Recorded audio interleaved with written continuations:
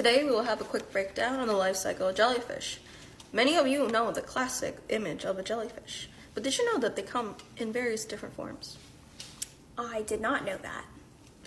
Well, you might have seen them and not know that they were jellyfish. This now brings us to the stages of the jellyfish life cycle. We'll start with the very first form.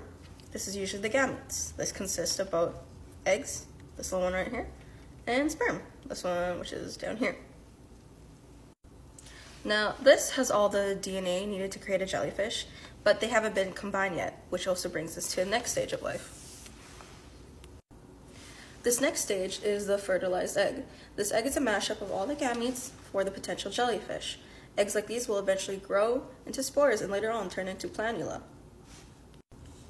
which will then turn into pill shape, also known as a planula larvae, which you can see right here.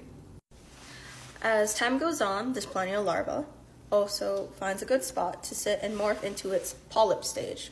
It's very reminiscent to an anemone, like the ones from Nemo.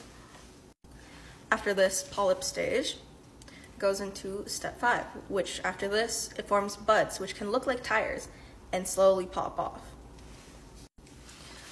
These so-called tires that pop off are actually tiny baby jellies, which are then called the immature medusa.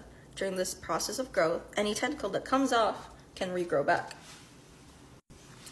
Now, this is the last stage, and this is what many of you know as the standard jellyfish.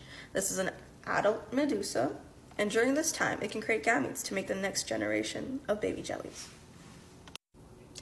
Now here's a cute photo of a jellyfish taken from the Vancouver Aquarium. Now remember not to touch them as they're still very dangerous and sting. Come here, little squishy.